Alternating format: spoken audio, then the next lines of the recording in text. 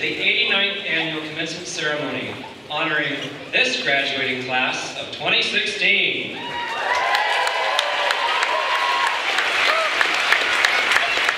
My name is David Wayne and I'm honored to serve as the Superintendent President of the college. It is my pleasure to introduce an important group of individuals, the members of the Marin Community College District's Board of Trustees. Please stand as I call your name. Brady Beavis, Diana Conti, Dr. Eva Long, Stephanie O'Brien, Stuart Tannenberg, Wanden Treanor, and Oldina Alatriste, Student Trustee. Thank you, trustees, for the many hours you spend supporting the mission of the College of Marin.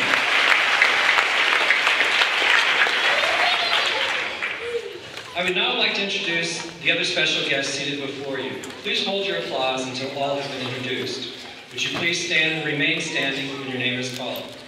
Jonathan Eldridge, Senior Vice President for Student Learning and Student Services. Greg Nelson, Vice President of Finance and College Operations. Sarah McKinnon, Academic Senate President. Monica Rudolph, Classified Senate Vice President. And Patrick McDurney Nikolai, ASCOM President. I thank each of you for your continued support and for your ongoing commitment to the success of our students.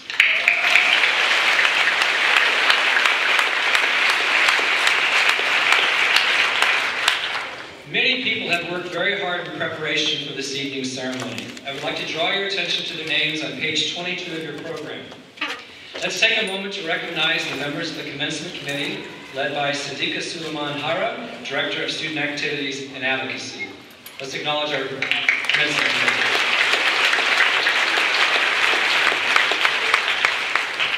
As we begin our commencement exercises, I would like to first acknowledge the faculty, staff, and administrators who are retiring with a combined total of 205 years of service to the college. 205 years. You can find their names on page 21 in the commencement program. I would like to ask those that are here with us this evening to stand and be recognized. And on behalf of the thousands of students whose lives you have touched, we thank you. So if you're retiring this year, please stand and be acknowledged.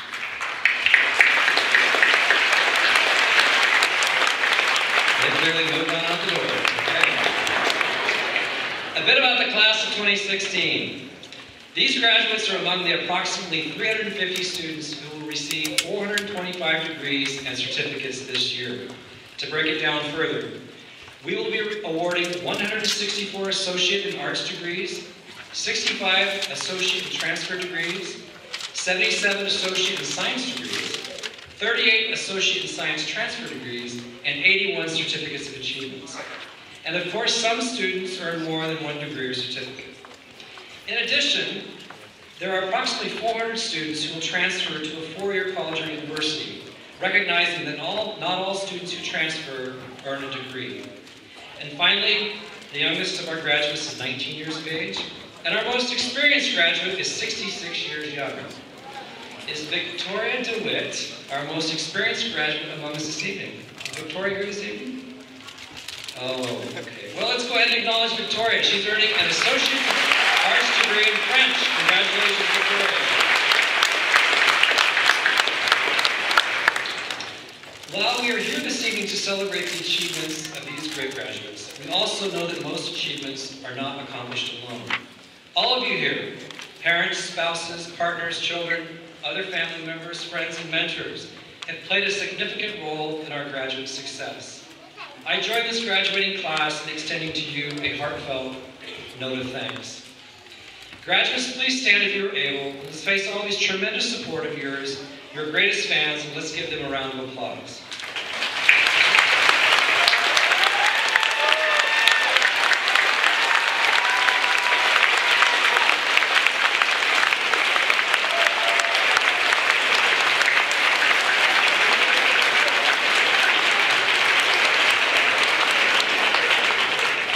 That's great. I also want to recognize recognize our staff, and administration. I join this graduating class in congratulating and thanking you for ensuring their interests and needs were your number one priority. You have done an outstanding job of delivering a high quality of education. These graduates here today and the many other students who will be transferring are a reflection of your incredible work. I particularly want to thank and express gratitude to the faculty. Over 60 of them have been here less than five years, and for some, this is their first commencement with us. So I'd like to take a moment and ask those faculty who are completing their first full-time year at College of Marin to please, please stand and be recognized. Congratulations. And we know that you'll be here with us many more years ahead. On the other end of the spectrum, we have faculty who have been with the college for many years. The faculty's passion for teaching and compassion for our students is evidence. Students this evening, I assure you, they are proud of your accomplishments. Faculty, staff, and administration, please stand so that we may acknowledge your many efforts and contributions.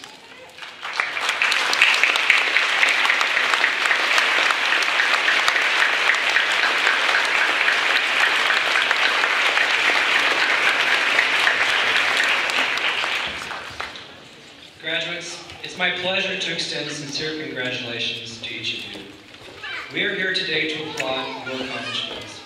While you may have had help and support along the way, you have reached this point through your own hard work. You pursued your dream. You made the commitment, and you made the sacrifices. It was through your grit and determination that you attained your goal. And for that, we applaud you. Congratulations.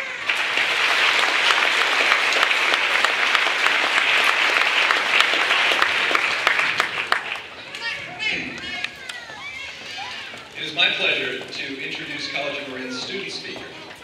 Our student speaker is selected via a panel of faculty, staff, and students.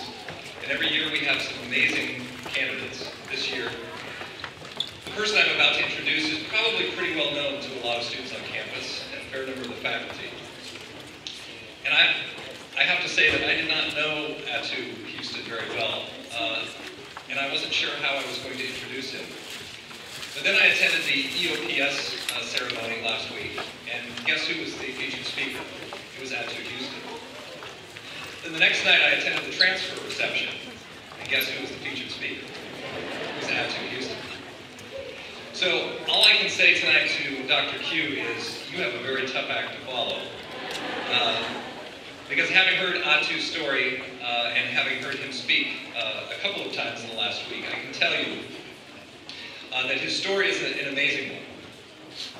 Atu began his journey in higher education in spring of 2005, but due to illness, very serious illness, which he may mention in his remarks, he had to place his educational career on hold until 2012 when he returned to complete his education here at College Marin.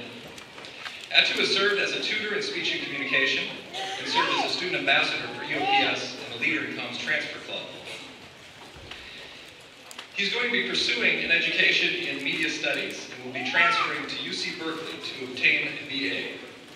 Now, Atu says he hopefully will continue on to achieve a master's degree, but I know that he will continue on to achieve a master's degree. And I think he probably will also then continue on to achieve his doctorate. His interest in mass media derived from wanting to dedicate and reinvent his life to becoming an advocate for those who cannot advocate for themselves. Wants to inspire those who are trying to see a brighter future. And I think everyone who knows Atu, and all of us after we hear his speech tonight, will agree that he is in fact a very inspiring human being. So it's my pleasure to present to you the 2016 student speaker, Atu Houston.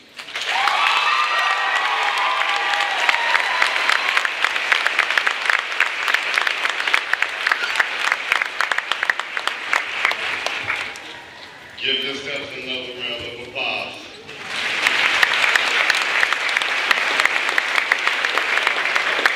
Good evening. My name is Arthur Houston, and I would like to extend a, wel- a special welcome and thanks to all in attendance and inform you that it is both a pleasure and an honor to celebrate the 89th College of Marin graduation ceremony with all of you to witness the glorious accomplishments of earning a degree and graduating from College of Marin. Before I begin, I would like to acknowledge a very special person in my life who has walked along the side of me during most of my life's voyage, Kanisha Thompson. Thank you for your sacrifices and I love you.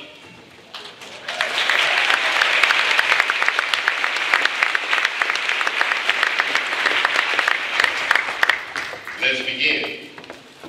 By definition, a mountain is a large elevation of the Earth's surface, rising abruptly from surrounding levels and areas.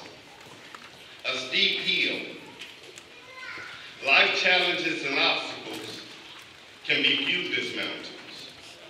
As mountains are natural, so are the lives of human beings. Furthermore, the abrupt rising from surrounding levels and areas are no different than the challenges and obstacles that come about during life's journey. As the mountain's face is large and steep, making the upward climb is also difficult. So the travel along life's path is often long, difficult, and at times disheartening. But at the summit of the mountain exists a pinnacle, a place of strength, a place of triumph, where victory can be celebrated. The battle to attain victory does not come easy. It must be earned. Because victory must be earned, one must be willing to overcome the mountains that exist in one's life. My life serves as a constant reminder of the perseverance and resolve that it takes to fight the trials of another day. I have faced many uncertainties, adversities, and transgressions that I have battled to overcome. Despite the death of dear loved ones and friends, being a veteran fighting PTSD, apartment Fire suffering complete loss, homelessness, financial concerns, surviving a 37-day coma, and becoming a heart transplant survivor, I have remained determined not to allow my life circumstances to restrict my pursuit of a brighter future.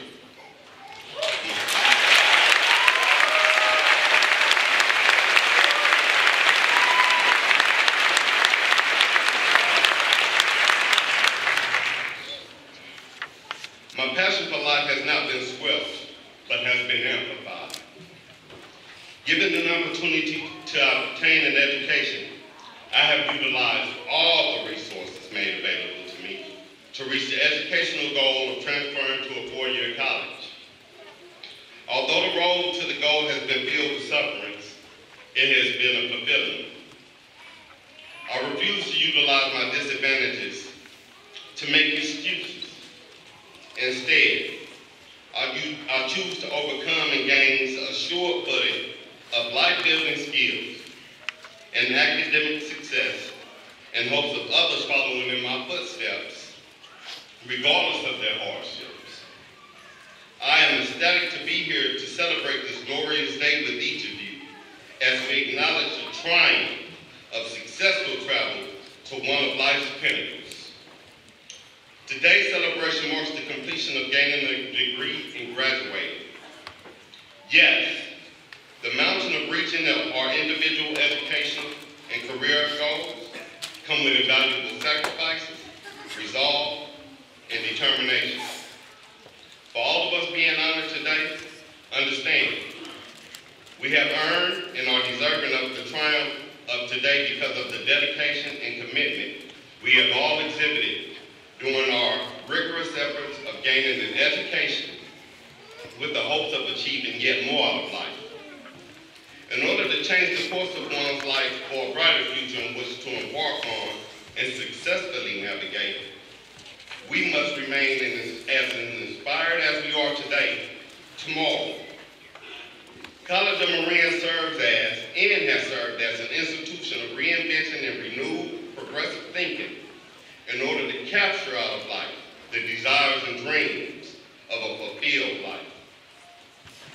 Today, the destination can be cherished, taken in with pride, and be reflected upon as it pertains to applying what has been taught and learned so that we can contribute positively and become a valuable member of society and affect positive change. It is my deepest hopes that all of us here today understand the importance of gaining an education at College of Marin. For it provides us with endless amounts of support to ensure that our futures have no ceilings that cannot be reached, no barriers, no obstacles that cannot be successfully navigated past, nor overcome, so that we may move beyond and progress towards becoming a beacon of positivity and a vessel for powerful and impactful progress towards a tomorrow that is filled with every possibility and opportunity. Whereas our dreams are no longer dreams, but realities we can touch. Furthermore, the importance of gaining an education at College of Marin is that we are now equipped to enter society completely prepared to be the people we were always meant to be. People of strength and courage. People who are bold and brave. People with tremendous drive, will, determination, dedication, commitment, perseverance, and resolve to do what is necessary to, in order to strive for and achieve successful outcomes. People with the passion to advocate for those that need and desire a voice of their own. People who care fervently for enhancing social relationships for all. To bring truth to our great nation's notion of truth, justice, opportunity, second chances, and liberty for all. These are the qualities in which make gaining an education at College of Marin significant. The education that we have earned at College of Marin has opened various avenues of obtainable future educational and career goals. In reference to the doors College of Marin opens for its students, it is my pleasure to inform you that I will be attending the University California, Berkeley as a national examiner.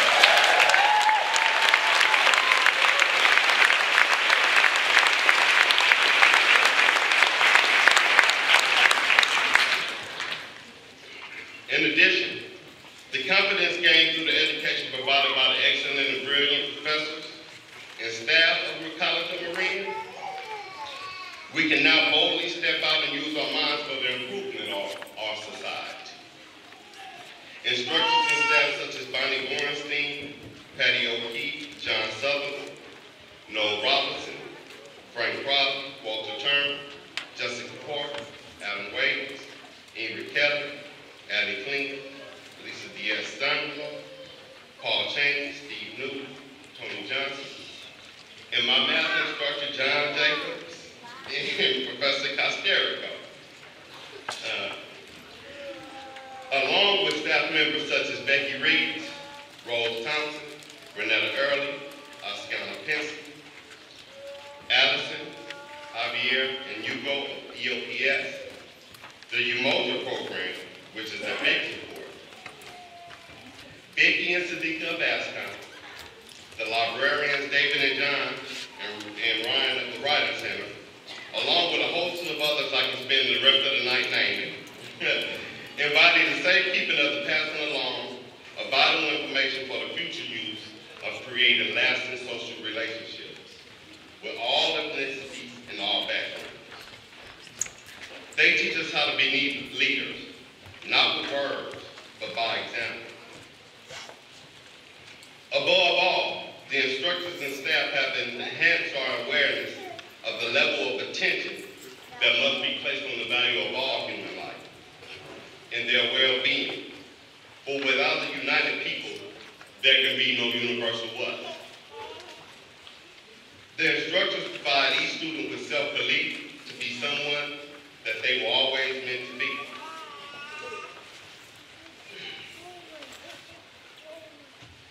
Not only meant to be, but somebody who can make the difference and be the difference. Today and forever, it is my hope that I am speaking for all the students that are being honored here today, that we will proudly represent College of Marin and remain proud products of, it, of its professors and staff. Be the best you, you can be. In closing, Graduation does not signify the end of our journey, but the beginning of a bright future. A future filled with many successes, armed with the assurance that nothing can keep us from achieving what we set out to achieve. There are no ceilings, for there exists no heights that we cannot reach.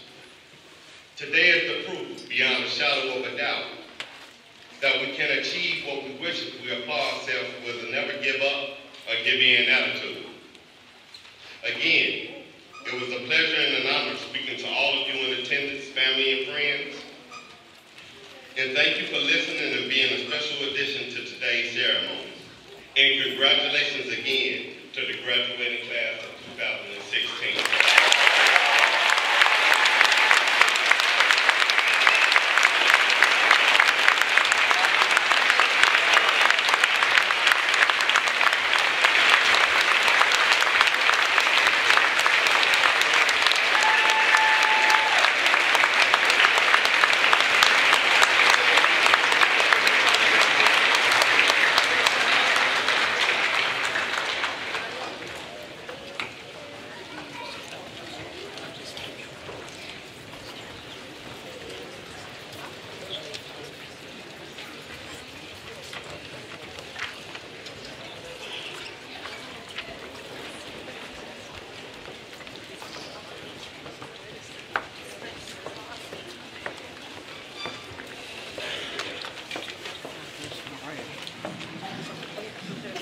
Good afternoon. I'm Stephanie O'Brien. I'm the president of the Board of Trustees, and I'm honored to stand before you tonight as you bring to a successful conclusion your efforts here at the College of Marin. Before I introduce our distinguished commencement speaker, I want to take a moment on behalf of the Board of Trustees to thank the students for their perseverance, their patience, and their commitment to their definition of success. I thank the faculty, the staff, and administration for providing the support, guidance, and inspiration to this community students. And I thank my fellow trustees for staying focused on providing the resources and leadership to help everyone achieve these goals. I know that you are all so very proud, as you should be, of what this milestone represents in your lives.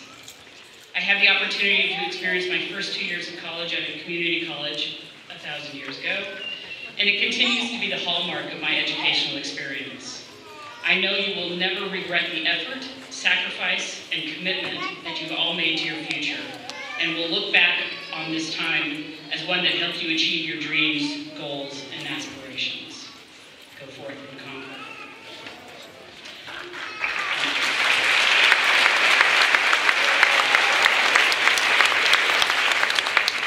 So it is my pleasure to introduce our commencement speaker, Dr. Alfredo Quinones Hinojosa.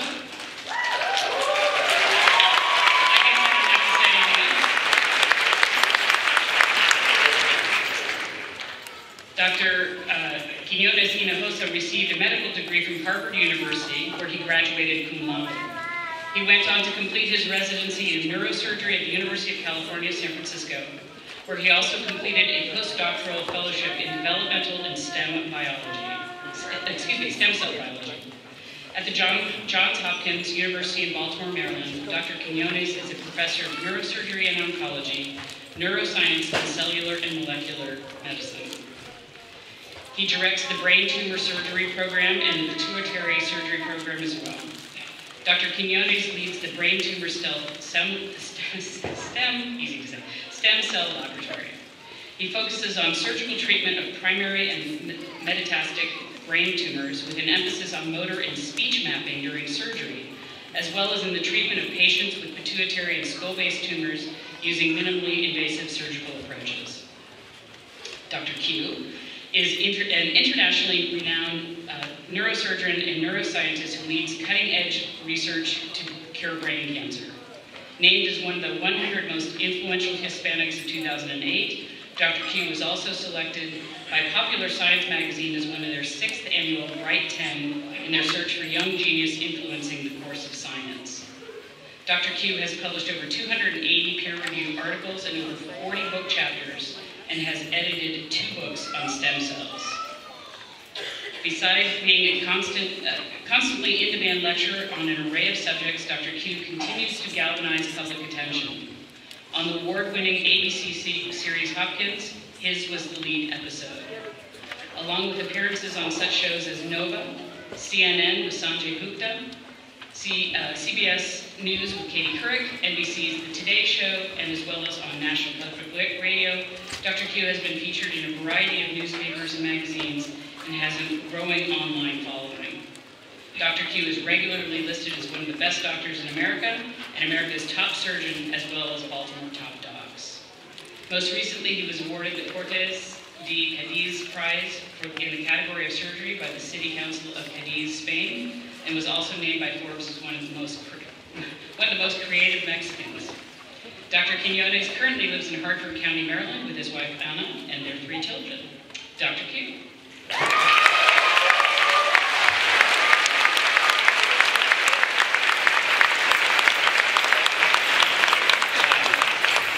I am so impressed by the fact that you pronounce my name perfectly. And if it's okay with you, one of the things that I never do is I never really take a picture with the graduates. I'm going to take a selfie.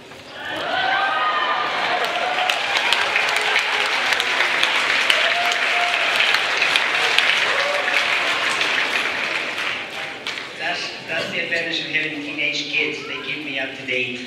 A lot of stuff.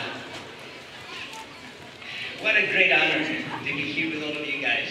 Honestly, I mean, with the uh, graduates, with your family, with your faculty, with the board of trustees, with all of you guys. Um, there are a few things in my life that really make sense and uh, make me proud.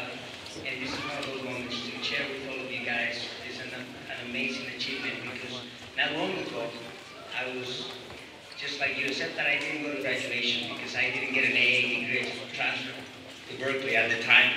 You know, I just didn't have enough credits to get an AA degree, so you guys are already much better than when I was at your stage. Until I, I got to tell you, man, that was an amazing story, and um, it really inspired me. To you and tell about your own life, your sort of challenges that you can face, uh, it really is truly inspiring. And um, what can I tell you? I'm going to try to tell you a little bit about my own sort of story going from um, coming from Mexico, a small village, uh, to becoming a migrant farm worker, going to community college at San Joaquin Delta College in Stockton, California, and eventually ending up where I am today as a professor and brain surgeon. The reality is that I cannot take credit for it. It was really my parents, my siblings, my family, my friends, my teachers who made a difference in my life. And they early on, they believed that I could actually offer something. There's still a lot of people who believe that I can actually do something like that. I went through community college, learned a little bit of English, eventually ended up at a railroad company as a welder.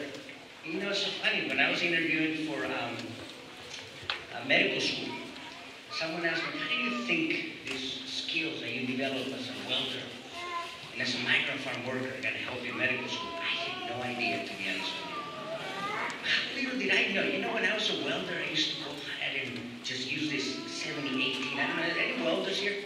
Anybody knows anything about welding? You know, so it's, it's so, you got to go and melt the metal, and you got to bring metal to metal together, and you got to use something to bring it together. So here I am. I, I hear some nuts over there. I'm seeing some nuts.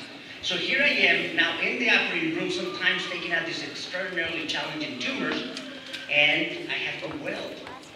But the stakes are obviously higher, and the magnification is also much higher, and the vessels are extraordinarily small. You cannot even see them with your naked eyes. But the skills were actually very, very similar. In community college, I got an opportunity to meet my wife, Anna, who is by far the most patient woman in the world. It's not easy to live with someone like me, by the way. And my kids can tell you that, and I don't, I, I, I own to it, you know, I own it.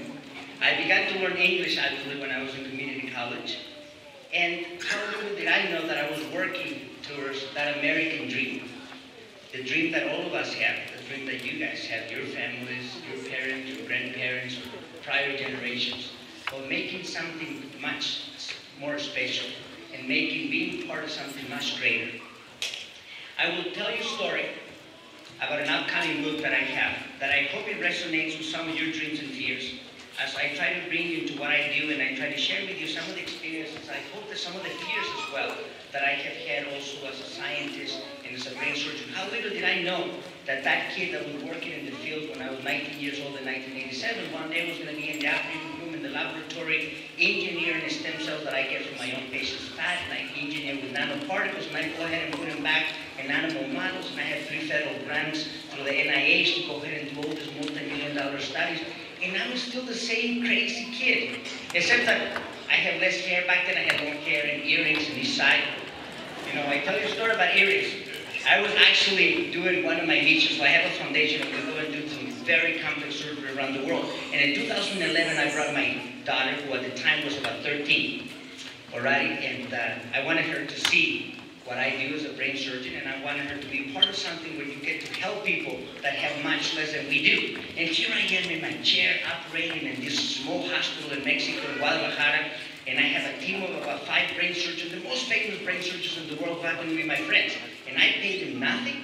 They get on an airplane, they pay their own way there. And once we do all this surgery, we work for about 20 hours a day for about four or five days. Then after that, I give them a lot of tequila. That's how we celebrate them. So here I am with my daughter. She's paying attention. I'm operating. I'm taking this tumor out, in the face, eyes down, face down, brain exposed. And I'm taking this tumor. I'm under the microscope, mouthpiece, controlling with my both of my hands, both of my feet. And I notice that she's paying attention. And I'm like, I made it. My teenage daughter is paying attention to what I'm doing. And then she goes, Dad, she gets really close. Did you have earrings in college? She was actually looking at my ears. That's when she first realized that at one point I was also, I had earrings. Uh, let me take you to the OR. I peel back the thin layer of a white pearl-like tissue covering the brain and see this large mass. My objective is to disconnect it from the brain, leave Chris intact and bring him back to his wife and children. I was worried, but I told my resident, a very large and dangerous tumor, and we need to get in and out with no collateral damage. As if I was reassuring myself that everything was going to go well. I begin to slowly but steadily take out the small arteries that are keeping this mammoth alive. I can see and feel the pulsations of the brain as it dances with the heart. I appreciate the brain with all the majestic grooves and the delicate texture. And I heard one of the residents quietly telling a Hopkins medical student that part of the brain contains the identity of this patient. Talking about identity, who's read, who's read Game of Thrones? Yes, I see some hands. I read it because I gotta keep up with my teenage kids. George R. R. Martin said about identity, never forget what you are, for surely the world would not. Make it your strength, then it can never be your weakness. Armor yourself in it, and it will never be used to hurt you. That's certainly a lesson that I have learned through the years of being here in the United States. I had to learn how to be proud of who I was as I was going through my journey from migrant farm worker, illegally at first, going now through community college, eventually through UC Berkeley. I was there when the naked man was walking around naked. There are no pictures of me running around naked, so we're good. You know, but I was there. Andrew Martinez was his name. You know, and it was an amazing time. You're gonna have a great time, by the way. By the way. I, it's gonna be amazing this time in Berkeley. So here I am. I continue to detach the tumor, and in the background, I hear the anesthesia machine beeping and giving me the sense that all was gonna go well. I thought I was gonna pull out what is called in my book the Kaliman maneuver. Now let me tell you a little bit about Kaliman. Kaliman was a superhero in Mexico when I was growing up. He was a, he was a man who had no powers, unlike our Superman or Batman in the United States. This was a man who was a philanthropist who loved people who dedicated his life. Somehow he was extraordinarily wealthy, philanthropic, and he was educated. He knew many languages, religions. He traveled around the world. And through this little magazine that would come out every Thursday at 12 noon, and he cost a peso. And I didn't have a peso, so I had to get together with my friend Martin, Eduardo, and Gerardo. The four of us, 25 cents each, we buy with this magazine and we pass it around. And I learn about the world through this superhero. This superhero has ama- had amazing powers. One time, he was attacked by four foes, two in the front and two in the back. He used to jump like a gazelle, hit two with the fist and two with the feet. So here I am, walking around with my brother. We were, we were being bullied by these kids who were hitting us with BB guns. So I was tired, so I told my brother and my three cousins, I said, guys, I am going to practice the Kaliman kick. My brother says, you're gonna hurt us. I said, relax, I'm only gonna tap you. I'm not gonna hit you. So here I am, I'm about five years old. I jump up in the air, boom, landed on my belly, crying, completely out of air, didn't hit anybody. I turned around and I see these four kids' faces looking down and completely, I mean, they were mummified, and suddenly they start bursting in laughter. I start crying, I go home, I tell my mom, my mom says, what's wrong with you? My mom was young, she was only about 23 at the time. And I said, Mom, today is a very disappointing day for me. I realized that Kaliman cannot be true. This was this little five-year-old kid who was so arrogant. I said, if I cannot do the Kaliman move, certainly Kaliman is not true. So here I am. but that was true. I have the feeling, going back to the that the brain is dancing with the heart, and I hear the faint, soothing sounds of classical Spanish guitar in the background. The tumor is red and hard, and snake- snake-like arteries coming out almost like a medusa. Suddenly there is a burst, a release beneath my fingers, and a river of blood under the microscope. Not knowing exactly where this was going and where was coming from, I asked, is the blood pressure normal? I asked Dr. Johnson, anesthesiologist, and he said, yes. Is the brain signal all right? And Jenny says, yes, no changes to the brain signals. I try to keep my calm demeanor, but my heart is racing 160 beats per minute. I could feel the thumping in my heart. My adrenaline spiked. It was fight or flight. The man on the table, the life in my hands is Chris. I met him, his wife Bernadette, and their two beautiful daughters at the ages of one and three in July of 2011. Chris was sent to me by Dr. Reggie Davis, who was the only second African American to be trained at Johns Hopkins as a brain surgeon, the, the first one being Ben Carson. Here comes a flashback. My phone rang, I picked up. Alfredo, Reggie says. To me, that, that's the way he sounded. With a deep, resonant, very white, light voice. I need you to see my dear patient with a dangerous tumor. His voice warns me like warms your ears like the voice of Mufasa in the 1994 movie The Lion King. But amidst that warmth, I sense a tone of urgency that peeks its head out when an experienced surgeon like Reggie, who had been practicing for about 30 years, is faced with an exceptionally challenging case. Chris showed up at my office shortly after the phone call, and I welcomed him, his wife Bernadette, and his two daughters. The girls were really playful, and Bernadette was really concerned. And she was trying to calm him down. I said, relax. I have three kids of my own, and I learned how to multitask, so if they don't bother you, I'm okay with it. So that calmed him down a little bit. I saw the brain picture. The tumor was massive, vascular, in the most eloquent part of the brain, going from the left motor cortex all the way down to the brain stem and the medulla. This is what we call no man's land, tiger territory, it's better known. When you're going to remove a tumor in that part of the brain, it's like diffusing a ticking bomb. Who saw the movie The Hurt Locker that got an Academy Award like around 2008? Jeremy Renner, who's one of my favorite characters in this movie, is being asked, are you within 100 meters of the IED? And he responds, hell, I don't know. I tell you when I'm on top of it, on top of it. And just like that, I go back to the operating room. I am on top of this IED, but I don't realize until it suddenly explodes right before my eyes.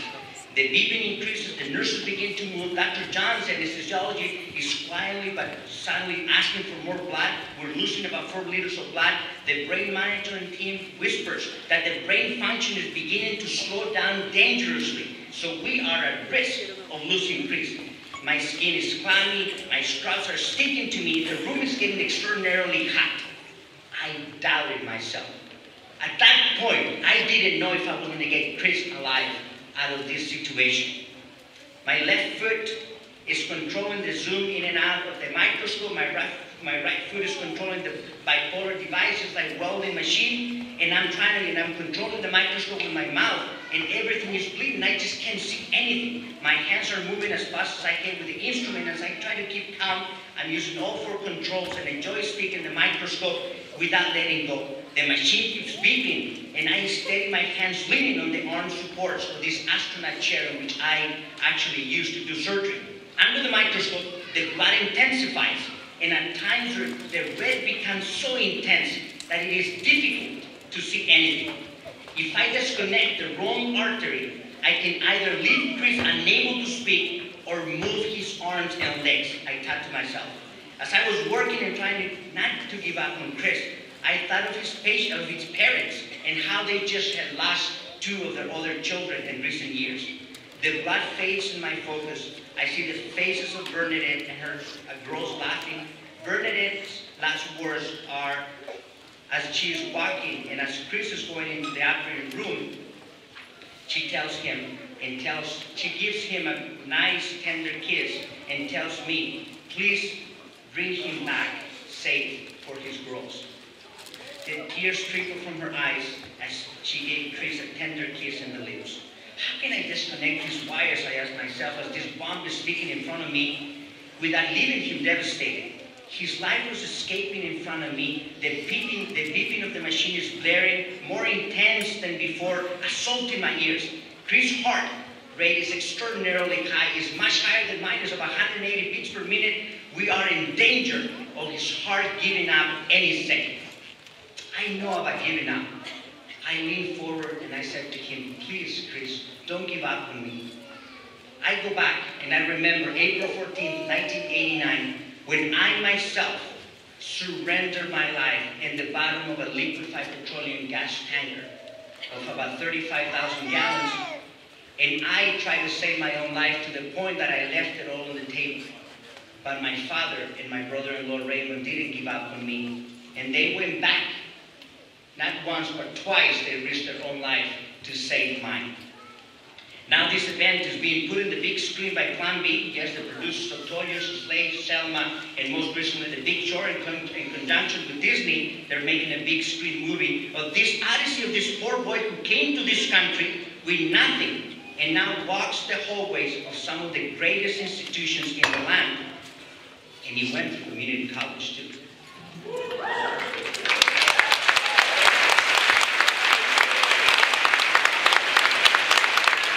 We lost about four liters of blood in about five minutes. Dr. John says to me, disheartened, but still reassuring me that he had my back, and most importantly, he had Chris's back. You never work in isolation. You have a team. I have um, uh, accumulated a team of about 30 people that surround me every single time that I do one brain surgery. By now, I've done about 2,500 over the last 10 years. We are losing the electrical signals, Jenny tells me trying not to panic, but with a tremble in her voice. Chris, I said, please trust me. I'm leaning my head towards him. Don't let go. Hold on. Nino Rota's guitar in the soundtrack to The Godfather was playing something in the background. What will happen? It took me 20 years to understand that sometimes the answers for questions such as the one that I'm asking as to what's going to happen when we fall down, the answers tend to be rather simple and sometimes they are right in front of us. We don't even know. I will share with the graduates three simple principles that have guided my own life as I attempted to make sense of my own journey, trials and tribulations, the times that I have fallen, I have gotten up again, and I have tried to get up again. And what happens when you're facing those moments where you doubt yourself? Number one, be passionate in your ambition for life. Number two, be pointed in your approach to life. Number three, be purposeful in your aim in life. Back in my younger years, I could have used the guidance of Gandalf Lord of the Rings. Yes, I read them too. When he said, all we have to decide is what to do with the time that is given to us. I see a smile. He read it. For Chris, I doubted myself for a moment, but something inside me allowed me to find that, find that still in my soul and fight for him. Six months later, after this amazing event where he almost lost his life, and this near-death experience for Chris, he actually ran a half marathon with me, and he actually crossed the finish line before I and waited for me so we can actually cross it together. With a big smile as Bernadette and the girls welcomed him. That was the greatest gift that I could have ever received. And for that, I was grateful to God, and I was grateful to all the people that worked with me that day to save his life.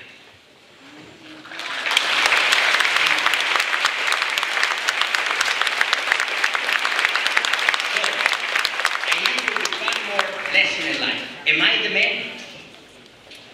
You, you judge right now. Listen to this experience. Um, this is a beautiful fall day, September, October, in Baltimore, up in Harford County. Horse country, beautiful. The leaves are falling. I go with my son David. He's about five, six years old. He's in his tricycle. He's 14 now. I said to David, son, you are the man. He looks up in his little tricycle and says, Dad, I'm not the man. And I'm thinking to myself, I'm going to teach my son a lesson. Son, I just want you to believe in yourself. He tricycles a little bit more. He looks up and says to me, Dad, I do believe in myself. I just know I'm not the man. At age five or six, he was teaching me a lesson about humility. So I'm not the man. I know that for sure. God bless you. God bless America, and congratulations for your all your accomplishments. Thank you very much.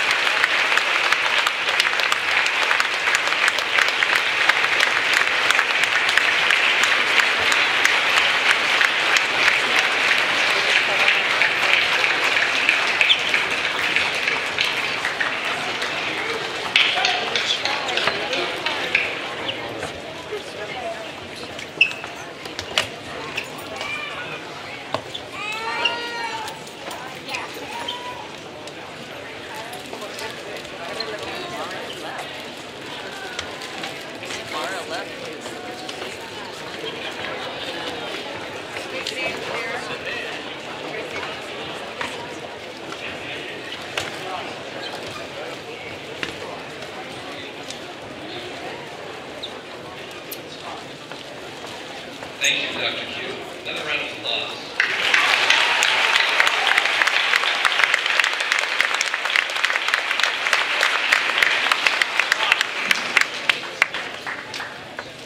President Coon, it is an honor to present the candidates for degree and certificate completion.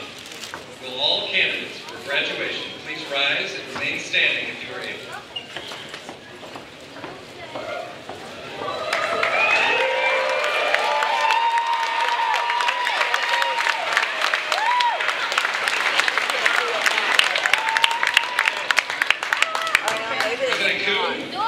We have double checked, and these candidates have satisfactorily completed the necessary requirements as set forth by the Board of Trustees of the College of Marin and are to be awarded Associate in Arts degrees, Associate in Science degrees, Associate in Arts transfer degrees, Associate in Science transfer degrees, and certificates of achievement.